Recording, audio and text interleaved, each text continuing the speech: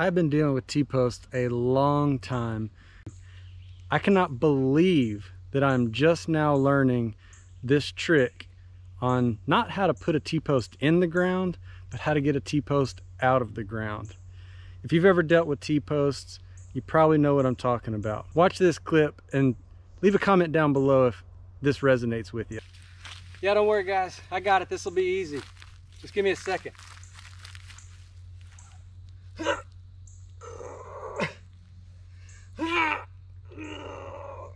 God dang. What is this, cement?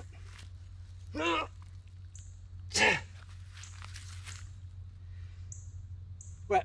No, no, I got it. No, no, no, I don't need any help. I got it. Let me just, let me just wiggle it a little bit. Yeah, it's coming out now.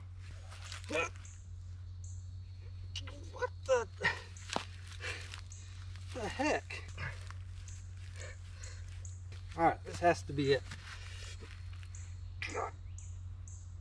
Dang it! What in the world? Hey, how much is a T-post anyway? What? Four dollars? What are we doing? Just buy a new one. This one's stuck. Okay, that's funny, but really, getting T-posts out of the ground by hand is really difficult, or it can be really difficult. So what I'm gonna show us today is a trick using the T-post driver to remove the T-post from the ground in seconds. It's unbelievable. Watch this.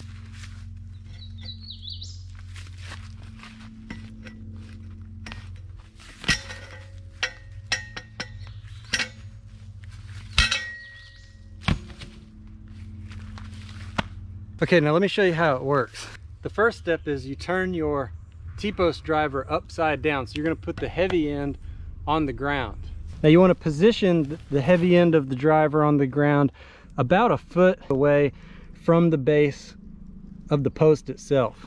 The next step is to get one of these teeth lipped over the edge of the opening in what's now the top of the T-post remover. In order to get it latched on there, what I like to do is position the bottom just far away enough that when I lean the driver forward, it's laying on the top. It's laying on the top of one of those teeth. And then, and I'll show you when I set the camera off to the side, I'm gonna push the T-post,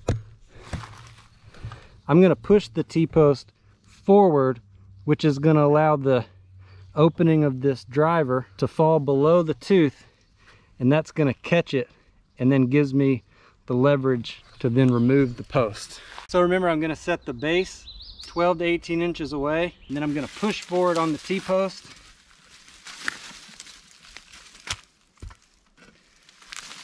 Until it latches over the top of the remover tool.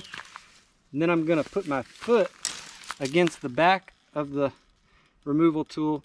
One hand at the top of the T-post, one hand kind of gripping the T-post and the removal tool to keep them together. And then I'm just going to rock my body back to pull it out of the ground.